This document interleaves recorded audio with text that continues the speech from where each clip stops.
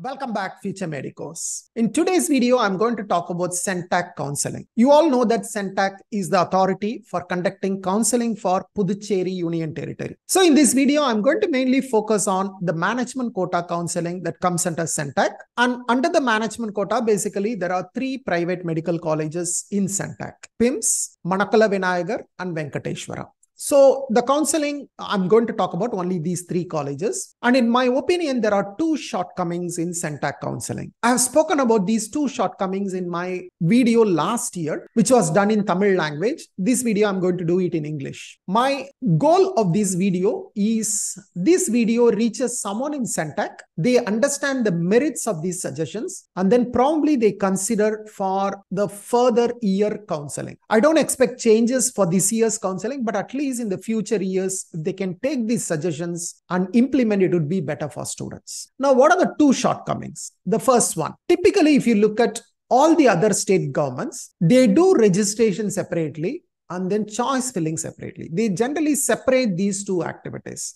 For example, in Tamil Nadu, right, they do registration first and then choice filling happens later. So they do registration, they release the merit list or rank list, and then they do choice filling. And then once the choice filling is done, immediately like one or two days later, the seat allotment happens. MCC counseling, it has a combined registration plus choice filling, but the advantage for them is once the choice filling is done, immediately they do the seat allotment. Like if you look at Kerala, Kerala do the registration very early, maybe sometimes in February, March, they do the registration, but the choice filling always happens closer to the seat allotment. But if you look at Puducherry, that's one place where they combine both registration and choice filling. Say, for example, this year, many of you might have applied for CENTAC around mid-July. So at that time itself, you would have given your choices. What are the colleges? What is your preference? College preference, course preference, right? They would have asked for it.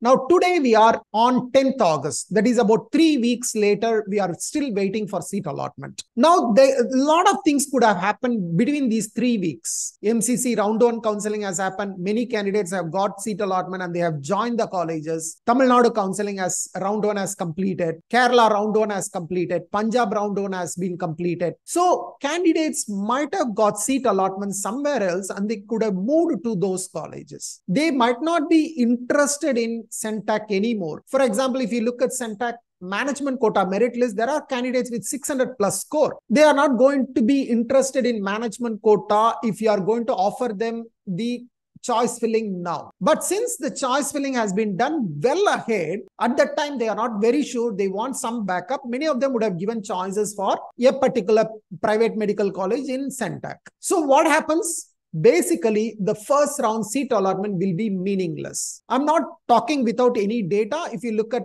the last year, the previous year, the last two, three years, you look at that, the first round seat allotment, they, they do allot 75 seats under management quota in the first round, roughly 75 seats, and not even one candidate takes the seat, which clearly shows that the choice filling is a meaningless exercise in round one. Nobody is interested in the first round allotment. So that's the first problem. The second problem I want to highlight is the number of seats reserved for minority students. I'm not against the reservation for minority students, so don't get me wrong. So we have two minority colleges in Puducherry. One is a Christian minority, which is PIMS.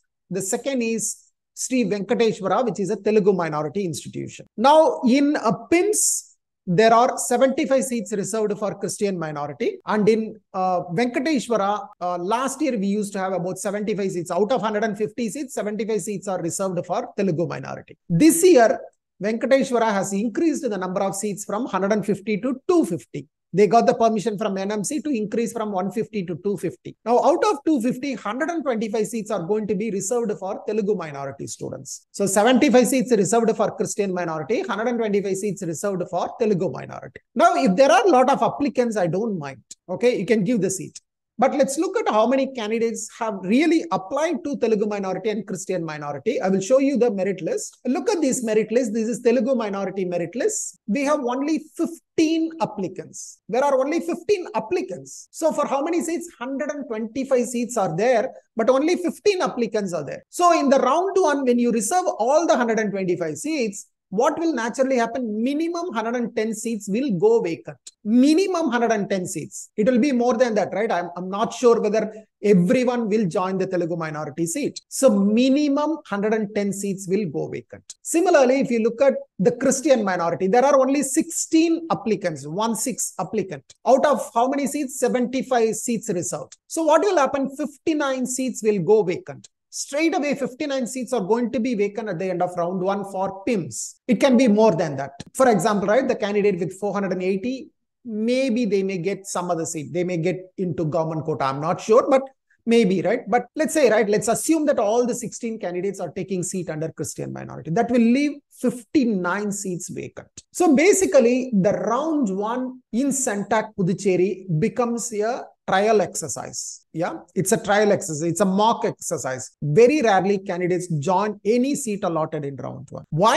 Because of the shortcomings which I have just highlighted. One, the choice filling happens much earlier than the seat allotment. Second, the seats are unnecessarily blocked for minority students, even though everyone knows that there are not enough minority students. Now, what can they do? What better CENTAC can do? Number one, separate the registration and choice filling. Do the registration first. Then I know, right? Every year you have some problem, right? There is a lot of delay. Last year there was about two months delay. This year there was about one month delay. Doesn't matter, right? Let, let there be delays we will face delays. After these, you are going to release the merit list. Once the merit list is released, open up the choice filling. And then once the choice filling is done, within one or two days, release the seat allotment. So that will ensure that only interested candidates are participating in the council. Now, does it guarantee 100% seats will be filled? No, of course not. Still, candidates will block the seats. I know that. But at least, right, 50% of the seats will be taken up. Many candidates who are interested really in CENTAC will participate. That's the first suggestion, right? Separate registration and choice filling. The second suggestion, reserve the minority seats only to the level of number of applicants available.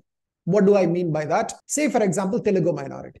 This year, we have only 15 applicants. You know, once merit list is released, you know that there are only 15. So reserve 15 seats for Telugu minority. Take out the remaining 110 seats, put it into the general management quota. Straight away, put it into 110. Add it to the general management quota. That's why I say do the choice filling after the merit list so that you know exactly how many applicants are there. Since there are only 15 applicants, we know 110 seats they, they are not going to take it. So let's push it to general management. Similarly, Christian minority, we know there are only 16 applicants. Reserve 16 seats in PIMS for the Christian minority. Take out the remaining 59 seats, put it into the general management quota. So this way, for round one, we will have another 169 seats available for candidates who are really interested. Now, will there be vacancies in the 16 and 15 seats reserved? Yeah, there may be vacancies. That can be added in the second round. That's fine. But that, that's going to be very little, right? Even let's say, right, five seats or 10 seats coming from there, it's okay, right? That can be added later. But why should we block 125 seats for 15 candidates? Is there a logic? I don't understand. Ideally, right, if